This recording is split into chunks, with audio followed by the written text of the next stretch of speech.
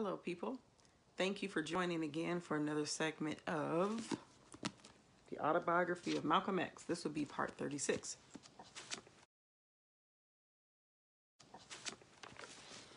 When we stopped last time, he um, was having a lot of trouble in America and felt like um, the Nation of Islam had it out for him and wanted to execute him or kill him. And um, he finally been convinced to sort of divorce with them.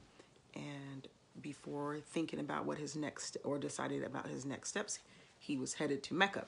Now if you didn't know all that my suggestion is go back to part one. Just scroll back to part one.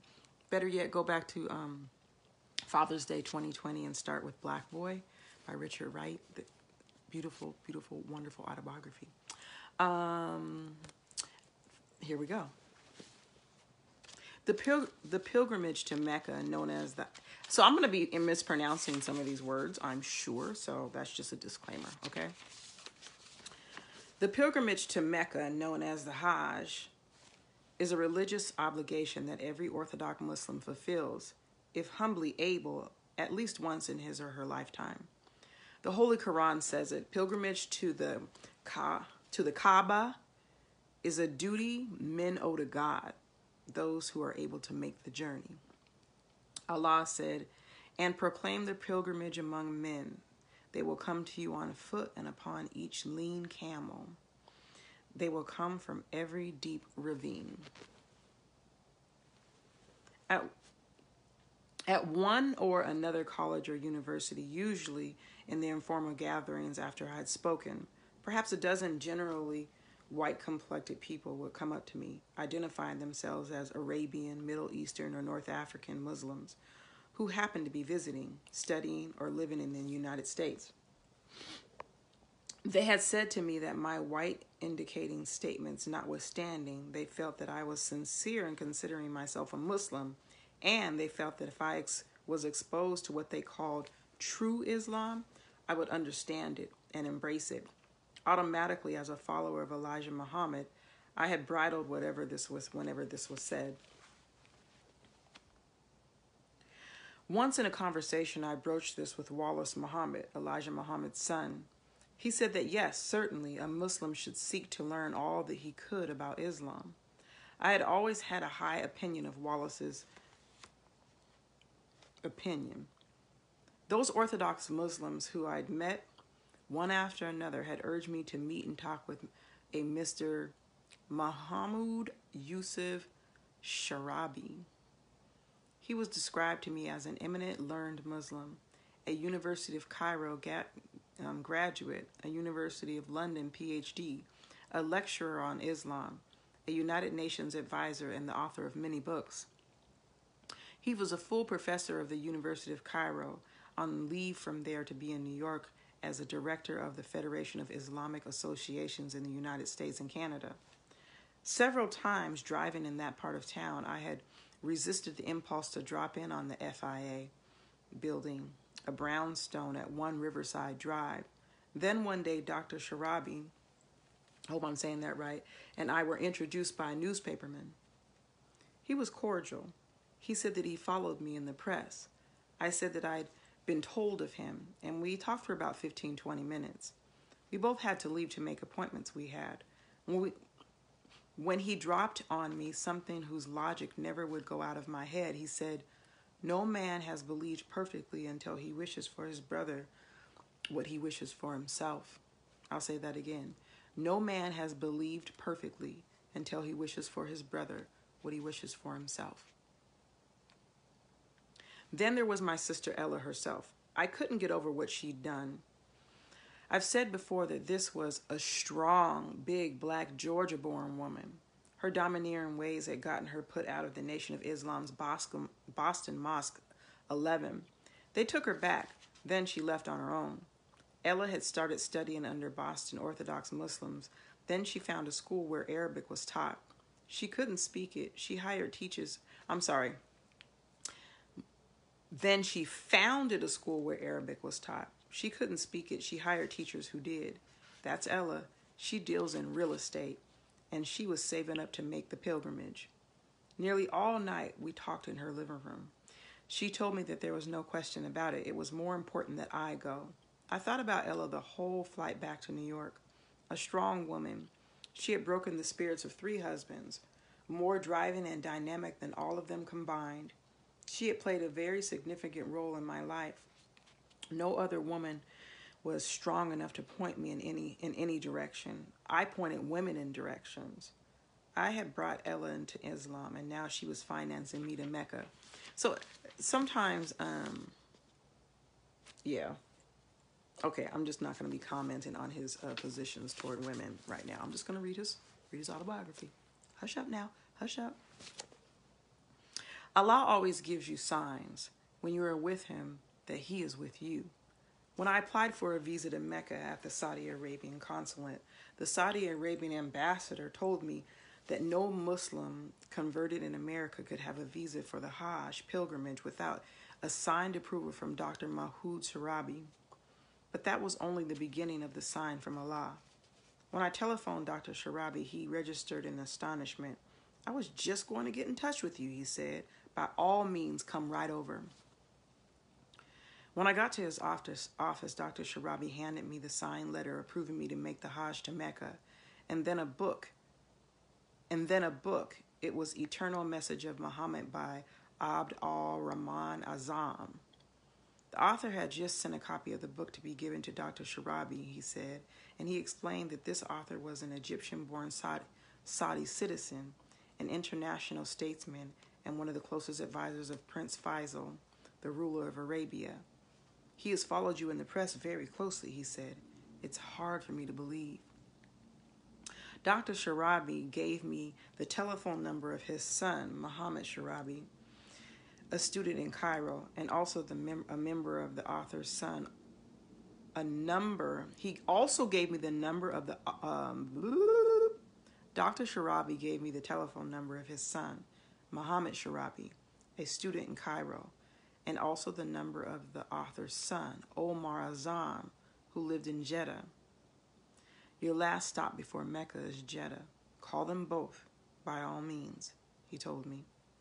I left New York quietly, little realizing that I was going to return noisily.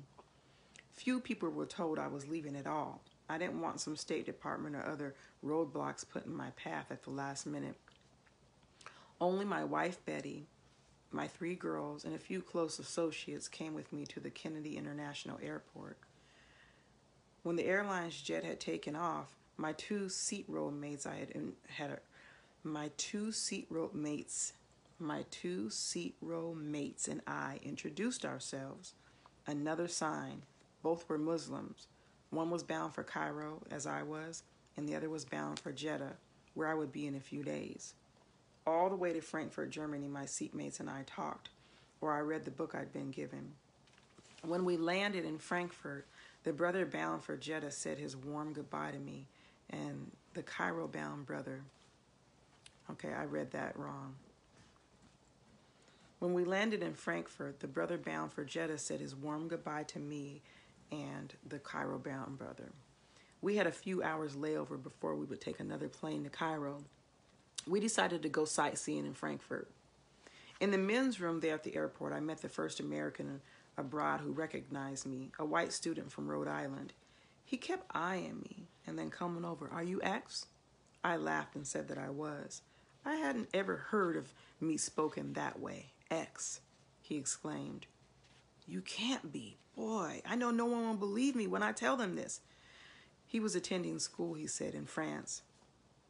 The brother Muslim and I were stuck were struck by the cordial hospitality of all the people in Frankfurt.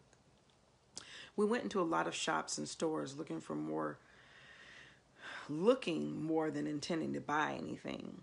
We'd walk in any store, every store, and it would be a hello, people who you'd never seen before and you knew that they were strangers and the same cordials was mm, people who never saw you before and knew you were strangers.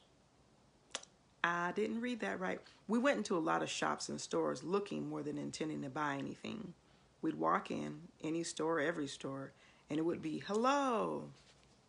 People who never saw you before and knew you were strangers, and the same cordial when we left without buying anything. In America, you walk into a store and spend a $100 and leave, and you're still a stranger to them. Both you and the clerks act as though you're doing each other a favor. Europeans act more human, more humane, whichever is the right word. My brother Muslim, who could speak enough German to get by, would explain that we were Muslims. And I saw something had already ex- I saw something I had already experienced when I looked upon a Muslim not as a Negro right in America. I'm going to read that again. He explained that we were Muslims, and I saw something I had already experienced when I was looked upon as a Muslim and not as a Negro right in America. People seeing you as a Muslim saw you as a human being, and they had a different look in their eyes, different talk, everything. In one Frankfurt store, a little shop actually, the storekeeper leaned over his counter to us and waved his hand, indicating the German people passing by. This way one day, that way another, he said. My Muslim brother explained to me that what he meant was that the Germans would rise again. Back at the Frankfurt airport, we took a United Arab Airlines back to Cairo. Throngs of people, obviously Muslims, were everywhere, bound bound on pilgrimage. They were hugging and embracing. They were all sorts of complexions. The whole atmosphere was of warmth and friendliness. The feeling hit me that there really wasn't any color problem here. The effect was as though I had just stepped out of a prison. I had told my brother Muslim friend that I wanted to be a tourist in Cairo for a couple of days before continuing on to Jeddah. He gave me his number and asked me to call him as he wanted to put me with a party of his friends who could speak English, and he would be going on the pilgrimage. And who would be going on the pilgrimage too, and they'd be happy to look out for me. So I spent two happy days sightseeing, sightseeing in Cairo. I was impressed by the modern schools, housing developments for the masses, and the highways and industrialization that I saw. I had read and heard that President Nasser's administration had built up one of the most highly industrialized countries on the African continent. I believe that what most surprised me was that in Cairo, automobiles were being manufactured and so were buses. I had a good visit with Dr. Sharabi's son, Mohammed Sharabi, a 19 year old who was studying economics and political science at Cairo University. He told me that his father's dream was to build a University of Islam in the United States. The friendly people I met there, I was astounded with when they learned that the friendly people I met there, the friendly people I met were astounded when they learned I was a Muslim from America. They included an Egyptian scientist and his wife, also on their way to Mecca for the Hajj, who insisted that I go with them to dinner in a restaurant in a suburb of Cairo. They were an extremely well informed and intelligent people. Egypt's rising industrialization was one of the reasons why Western powers were so anti Egypt. It was showing other African countries what they should do, the scientist said. His wife asked me, Why are people in the world starving when America has so much surplus food? What do they do? Dump it in the ocean? I told her yes, but they put some of it in holds of surplus ships and in subsidized granaries and in refrigerated spaces and let it stay there with a small army of caretakers until it's unfit to eat. Then another army of disposal people get rid of it to make space for the next surplus batch. She looked at me in something like disbelief. Probably she thought I was kidding, but the American taxpayer knows the truth. I didn't go on to tell her that right there in the United States, there are people who are hungry. I telephoned my Muslim friend as he had asked, and and the Hajj party of his friends was waiting for me. I made it a doo doo doo. I made it eight of us. And they included a judge and an official from the Ministry of Education. They spoke English beautifully and accepted me like a brother. I considered it another one of Allah's signs that whenever I turned, someone was there to help me, to guide me. The literal meaning of Hajj in Arabic is to set out toward a definite objective. In Islamic law, it means to set out for Kaaba, a sacred house, to fulfill pilgr- your pilgrimage rites. The Cairo airport was where scores of Hajj groups were becoming Muhrim pilgrims upon entering the state of Ihram. I hope I'm saying it right. The assumption of a spiritual and physical state of consecration. Upon advice, I arranged to leave Cairo all of, at Cairo all of my luggage and four cameras and one movie camera. I had brought mm, I had bought in Cairo a small valise just big enough to carry one suit, shirt, pair of underwear sets, and a pair of shoes into Arabia. Driving to the airport with our Hajj group, I began to get nervous, knowing that from therein it was going to be I was going to be watching others who knew what they were doing and trying to do what they did. Entering the state of Ihram, we took our clothes and put on we took off our clothes and put on two white towels. One, the izar, was folded around the loins. The other, the rida, was thrown over the neck and shoulders, leaving the right shoulder and arm bare. A pair of simple sandals, the na'al, left the ankle bones bare. Over the izar waist wrapper, a money belt was worn, and a bag, something like a woman's big handbag, with a long strap it was for carrying the passport and other valuable papers, such as the letter I had from Dr. Sharabi. Every one of the thousands at the airport about to leave for Jeddah was dressed this way. You could be a king or a peasant, and no one would know. Some powerful personages who were discreetly pointed out to me had on the same thing I had on. Once thus dressed, we all had begun intermittently calling out, Labayaka. Let me see if I La Baker, La Baker, La Baker, here I come, O Lord.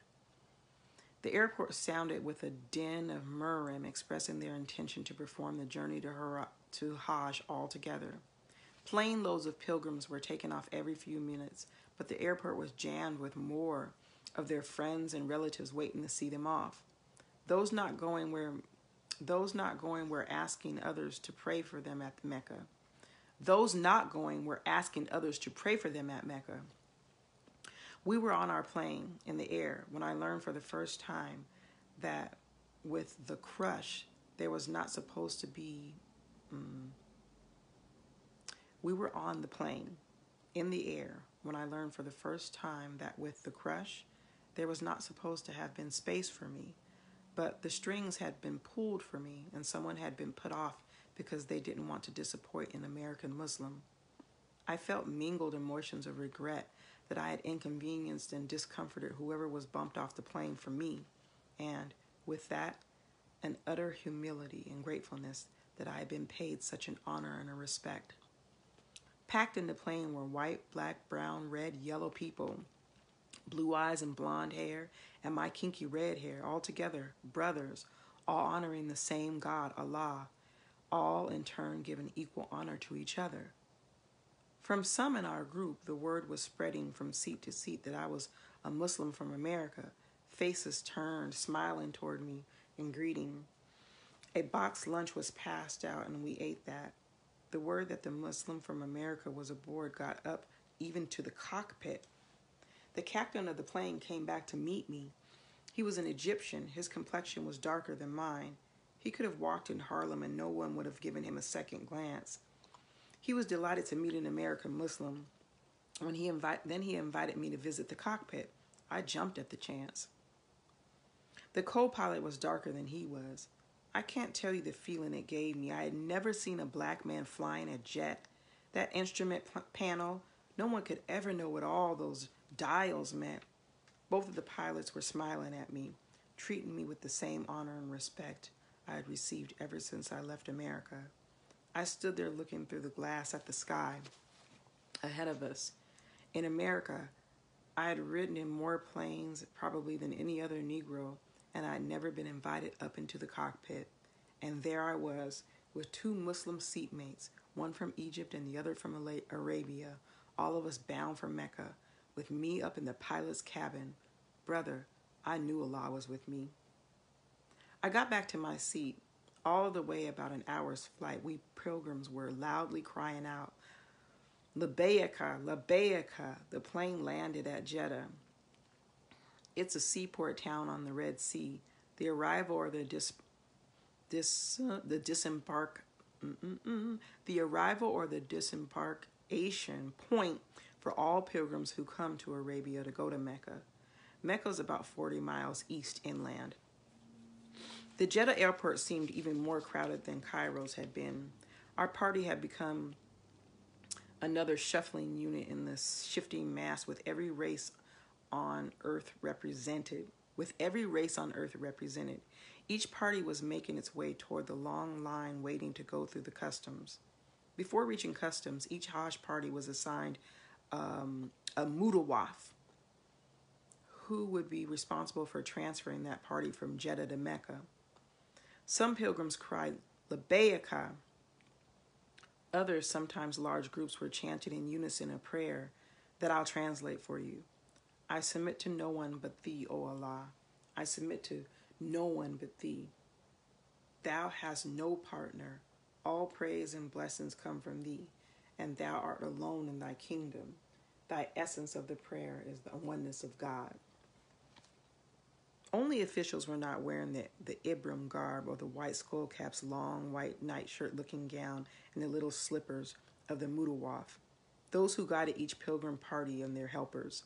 In Arabic, a, a mm sound before a verb makes a verbal noun.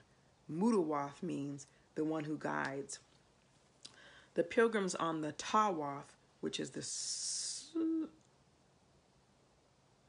which is the circum, circumambulation of the Kaaba in Mecca. I'm not sure about what that is. I was nervous, shuffling in the center of our group, in line waiting to have our passports inspected. I had an apprehensive feeling. Look at what I'm handing them. I'm in the middle of the Muslim world, right at the fountain.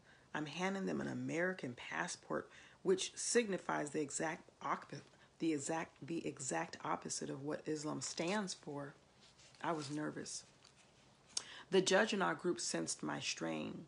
He patted my shoulder. Love, humility, and true brother- brotherhood was almost a physical feeling where everywhere I, everywhere I turned.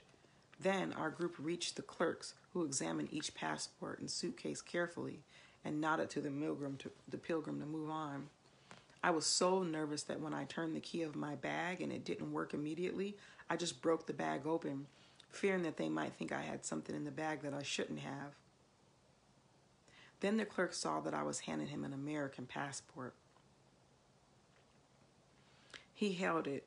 He looked at me and said something in Arabic. My friends around me began to speak rapid Arabic, gesturing and pointing, trying to intercede for me. The judge asked me in English for my letter from Dr. Sharabi and he thrust it at the clerk who read it. He gave me the letter back protesting. I could tell that. An argument was going on about me. I felt like a stupid fool, unable to say a word.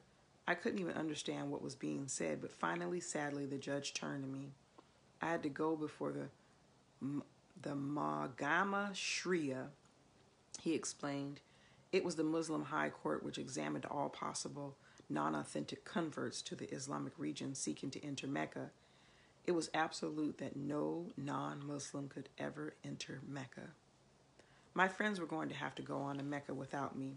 They seemed stricken with concern for me, and I was I was stricken. I found the words to tell them, "Don't worry, I'll be fine. Allah guides me." They said that they would pray hourly in my behalf. The white-garbed Mutawaf was urging them to go on so they could keep schedule in the airport's human crush. With all of us waving goodbye, I watched them go. It was then about three in the morning, a Friday morning. I never had been in such a jammed mass of people, but I never had felt more alone and helpless since I was a baby. Worse, Friday in the Muslim world is rough as a rough counterpart of Sunday in the Christian world. On Friday, all the members of the Muslim community gather to pray together. The event is called um, Yan al Juma. Juma'ah. The event is called, let me see, Yan al Juma'ah. I'm sure I'm saying that wrong. The day of gathering. It meant that no courts were held on Friday. I would have to wait until Saturday at least. An official beckoned a young Arab Mutawaf side aide.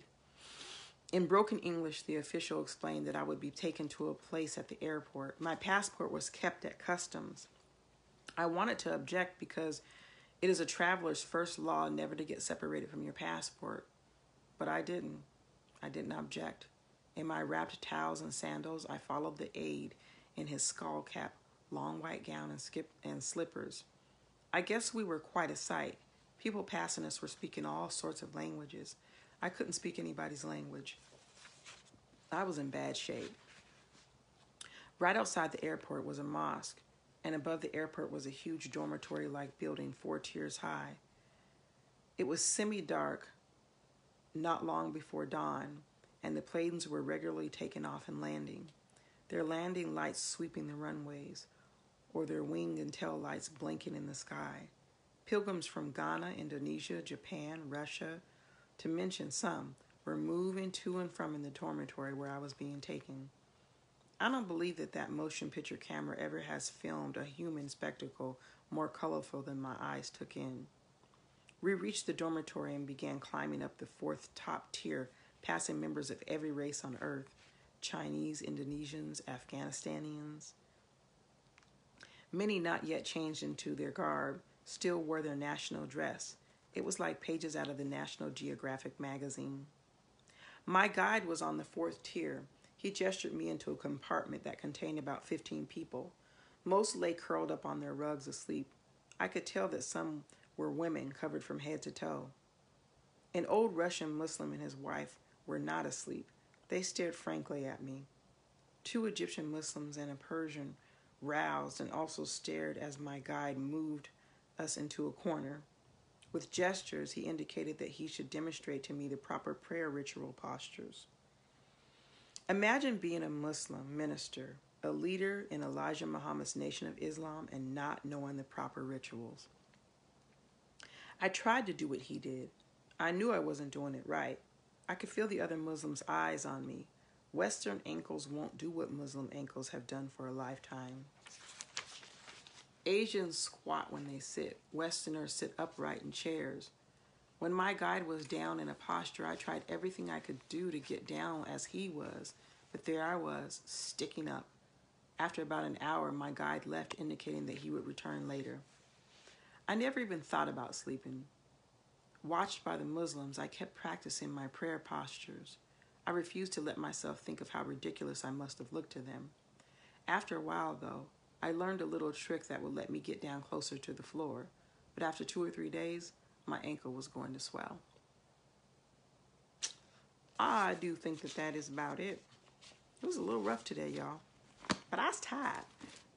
Thank you for joining me for the autobiography of Malcolm X, part 36, and hope to see y'all tomorrow. Take care.